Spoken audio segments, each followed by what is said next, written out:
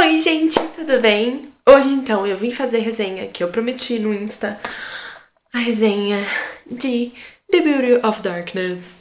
Um, esse daqui é o último livro da coleção The Kiss of Deception, ou Crônicas de Amor e Ódio.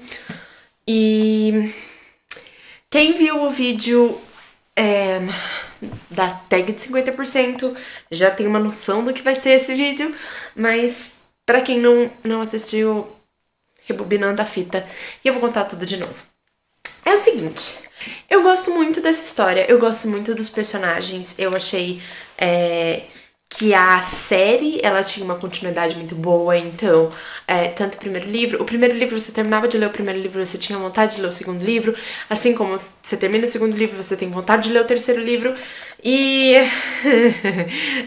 ainda bem que acabou, porque senão eu não teria vontade nenhuma de continuar lendo é, essa série, porque eu particularmente não gostei do fim. Gente, para quem não leu é, nenhum dos livros antes, eu recomendo você sair desse vídeo e ir para um outro, porque, querendo ou não, esse livro tem spoilers dos outros, então não sei, talvez seja seu rolê. Bom, de qualquer maneira, então aqui a gente vê a história da Lia. A Lia já sabe quem é o príncipe, quem é o assassino. A Lia já sabe que ela gosta do Raf e ela gosta do Caden, mas como um irmão e não como um namorado. O Caden sabe que ele gosta da Lia. É, ele, ele acha que é como um namorado, mas é, a gente vê que não é exatamente isso. O comissário tá morto. É, a Lia caiu no rio com uma flecha tipo, nas costas. Muita coisa aconteceu, tipo, no começo desse livro, muita coisa aconteceu. Ele e os amigos dele acham a Lia e pegam a Lia e cuidam dela. Hum, o Jeb, se eu não me engano, faz os pontos na Lia, porque ele era, tipo, o médico do. da ordem lá do. do Raf, então, tipo, do reino do Raf. Então, eles estão saindo de venda, indo pra Dalbrek e, na verdade, tipo, eles estão meio. Eles estão meio não, eles estão total e completamente fugindo. Então, é. A Lia matou o comissário, então eles estão fugindo do que provavelmente seria o próximo comissário, que teoricamente é a Lia, mas como a Lia fugiu, ela tá com medo de que outros caras, tipo, do conselho lá, subam ao poder e meio que trabalhem como comissário. E porque, afinal de contas, ela tava com uma flecha nas costas, né? Bom, de qualquer maneira, o livro é... Como eu posso contar para vocês, sem contar de fato para vocês? É assim, no meio do caminho tem muita coisa acontecendo. No fim, quando realmente tem muita coisa acontecendo, não tem muita coisa, tipo, de livro. É, esse foi meu sentimento. Eu senti que, na verdade, assim, o livro ele foi extremamente enrolado em determinadas partes e rápido em outras.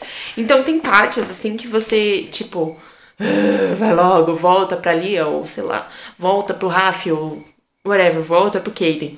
Então você quer voltar para a história principal. E eles estão lá moscando na vida, falando, dando sabe? Tipo, por que, moço? Por que? A gente tá no último livro. Tipo, a Lia tá, tava com uma flecha nas costas, não faz nem 10 minutos. Então, é, eu achei que tem partes que eles dão muita atenção e, tipo, não tem nenhuma necessidade. E tem partes que, tipo, toda necessidade do universo. Você queria muito entender qual é o contexto. Tipo, da onde eles vieram, para onde eles vão, o que, que eles estão esperando. E não tem, tá? é tipo, ah, tamo aqui na Lia, agora tamo aqui no Kaden, agora tamo aqui no Raf.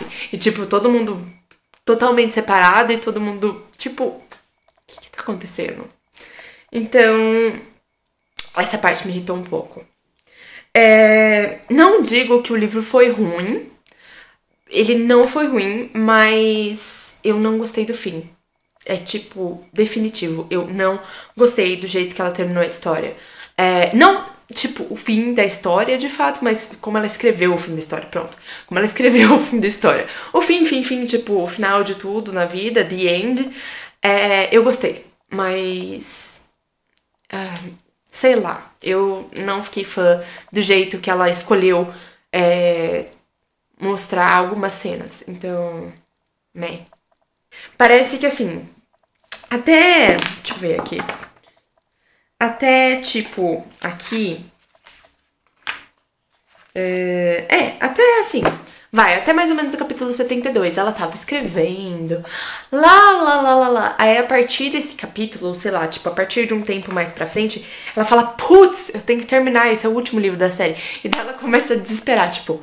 Sabe aqueles 10 minutos de prova? Você tem tipo uma hora de prova para fazer redação e daí você faz a redação em meia. Aí você começa escrevendo bonito, tipo, não, porque o céu é azul, porque as gotículas de água refletem o oceano, porque não sei o que. Aí, tipo, você repara que você tem dois minutos para terminar, entre, tipo, a prova e entregar a prova. E daí você começa, porque é assim que Deus quis, entendeu? Tipo, acabou. Aí sei lá, eu achei que perdeu muita coisa que podia ter acontecido e podia ter usado, tipo, em muito favor dela. Ela acabou meio que jogando fora. é. que mais? Cara, sem spoilers, eu acho que é isso. Porque eu. Eu gostei da história, mas eu não amei o livro.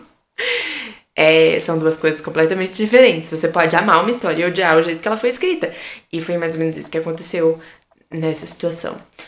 Então é isso, gente. Se você não leu o livro, a gente fica por aqui e eu espero vocês na semana que vem.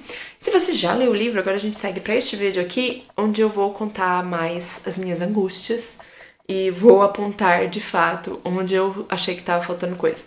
Então é isso, gente. Eu espero que vocês tenham gostado do vídeo. Para quem não é inscrito, tem essa bolinha aqui em cima. É só clicar e se inscrever para acompanhar os vídeos. Eu faço vídeo todas as semanas. E é isso, gente. Até semana que vem. Tchau!